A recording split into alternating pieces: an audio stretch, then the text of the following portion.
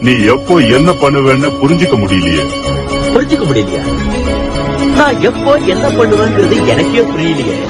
நான் நேசிக்கிறேன் தமிழ் மக்களுக்கு வணக்கம். நான் உங்கள் வசன் பேசுகிறேன் இன்றைக்கி நாம் என்ன பார்க்க போகிறோம் அப்படின்னு வந்து பார்த்தீங்கன்னா ஈர்ப்பு விதி அப்படின்ற ஒரு விஷயம். நிறைய பேர் வந்து பார்த்தீங்கன்னா இந்த ஈர்ப்பு விதி அப்படின்றது தெரிஞ்சு வச்சுருப்பாங்க. அதாவது ஒரு கொஞ்ச நாள் வந்து ட்ரை பண்ணியிருப்பாங்க. திடீர்னு அது நடக்கிறதுக்கு உண்டான சூழ்நிலை வேறு வந்திருக்கும். அதாவது வந்து அது உங்களுக்கு தெரியாது.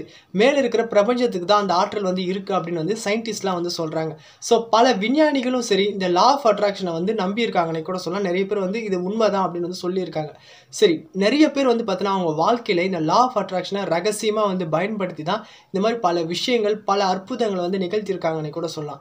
இந்த ஈர்ப்பு விதி இப்போது நேர்த்தி கிடையாது. பலாயிரம் வருஷங்களாகவே இந்த ஈர்ப்பு விதி அப்படின்ற ஒரு ரகசியம் வந்து பிரபஞ்சத்தில் காஸ்மிக் பவர் அப்படின்ற ஒரு விஷயம் வந்து இருக்குது அதை வந்து கரெக்டாக நம்ம பயன்படுத்தினா நம்ம கண்டிப்பாக வாழ்க்கையில் வந்து நம்ம வெற்றி அடையலாம் அப்படின்னு வந்து இதை பற்றி ஆராய்ச்சி பண்ணவங்க எல்லாருமே சொல்கிறாங்க அதாவது நீங்கள் வந்து கொஞ்சம் நினச்சி பாருங்கள் சும்மா வந்து பணத்துக்காகவோ இல்லை எந்த ஒரு வேலை இல்லாமையோ இதை பற்றி அவங்க ஆராய்ச்சி பண்ணி உட்காந்து இதெல்லாம் தான் யோசிக்க தேவையில்லை. அவங்க எதுக்கு இதெல்லாம் வந்து ஆராய்ச்சி பண்ணி சொல்லியிருக்காங்க?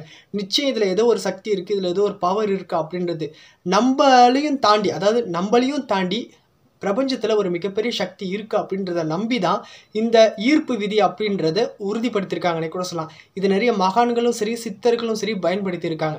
அதாவது இந்த ஈர்ப்பு விதி அப்படின்றது நீங்கள் என்ன தேவையோ அது வந்து ஏற்கனவே உங்ககிட்ட இருக்கிற மாதிரி கற்பனை பண்ணிக்கணும். அது ஏற்கனவே நீங்கள் அடைஞ்சிட்ட மாதிரி கற்பனை பண்ணிக்கிட்டு நன்றி சொல்லணும். உதாரணத்துக்கு ஒன்றும் இல்லை உங்களுக்கு பிடிச்ச ஏதாவது ஒரு பைக்கை வந்து நினச்சிக்கோங்க. அதை என்ன சொல்கிறாங்க அப்படின்னா இப்போ நானே உங்கள்கிட்ட சொல்லுவேன் உங்களுக்கு என்ன பைக்கு பிடிக்குமோ அதை வந்து இமேஜினேஷன் பண்ணிக்கோங்க.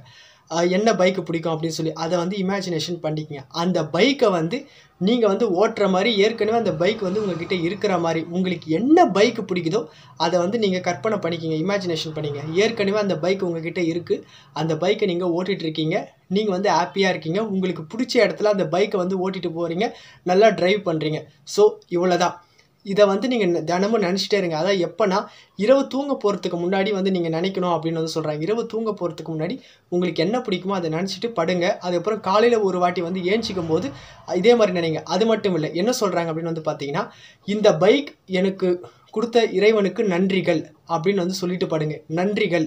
இந்த பைக்கை எனக்கு கொடுத்த இறைவனுக்கு நன்றிகள். நான் ரொம்ப சந்தோஷமாக இருக்கேன். நன்றி இறைவா அப்படின்னு நன்றி உணர்வு வந்து சொல்ல சொல்கிறாங்க இதை வந்து ரெகுலராக ஃபாலோ பண்ண சொல்கிறாங்க இதான் law of attraction so try பண்ணி பாருங்கள் இந்த மாதிரி பல தகவலை தெரிஞ்சுக்க நம்ம சேனலுக்கு சப்போர்ட் பண்ணுங்கள் வேறு ஏதாவது டாபிக் பற்றி ஏதாவது பேசினாலும் கமெண்ட்ஸில் பதிவு பண்ணுங்கள் நான் உங்களுக்கு கொடுக்குறேன்.